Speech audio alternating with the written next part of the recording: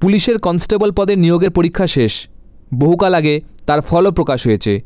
দীর্ঘ সময় কেটে গিয়েছে, কিন্তু এখনও অধরা কনস্টেবল পদের নিয়োগ প্রক্রিয়া।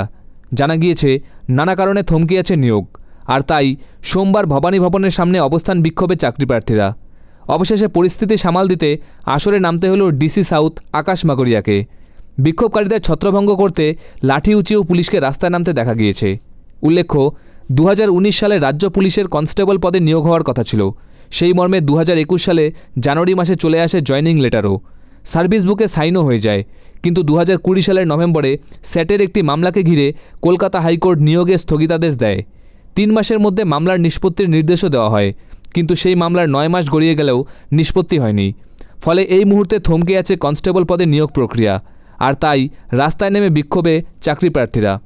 সোমবার প্রায় পাঁচ হাজার চাকরিপ্রার্থী ভবানী ভবনের সামনে জমায়েত করে বিক্ষোভ দেখাতে শুরু করেন। মুখ্যমন্ত্রীর কাছে তাদের আবেদন যাতে দ্রুত জয়েনিংয়ের ব্যবস্থা করা হয়। পুলিশের উচ্চপদস্থ আধিকারিকদের কাছেও দ্রুত নিয়োগ প্রক্রিয়া সম্পন্ন করার আবেদন জানান। প্রত্যেকেরই দাবি, সকলেই রাজ্য পুলিশের পরীক্ষায় পাশ করে গিয়েছেন। তারা ভবিষ্যতের পুলিশ। সে কারণেই আজ ভবানী ভবনের সামনে বিক্ষোভ দেখাচ্ছেন তারা। প্রত্যেকের হাতের প্ল্যাকার্ড, মুখে স্লোগান। তবে সময় যত গড়াতে থাকে, বিক্ষোভের পরিমাণও বাড়তে থাকে। শেষ পর্যন্ত আসরে নামেন ডিসি সাউথ। বিক্ষোভকারীদের প্রতিনিধিদের সঙ্গে দফায় দফায় কথা বলে আশ্বস্ত করেন। এই বিষয়ে পুলিশের উচ্চপদস্থ আধিকারিকরা ইতিমধ্যে আলোচনা করেছেন স্যাটের মামলার দ্রুত নিষ্পত্তি করে নিয়োগ প্রক্রিয়া সম্পন্ন করা হবে।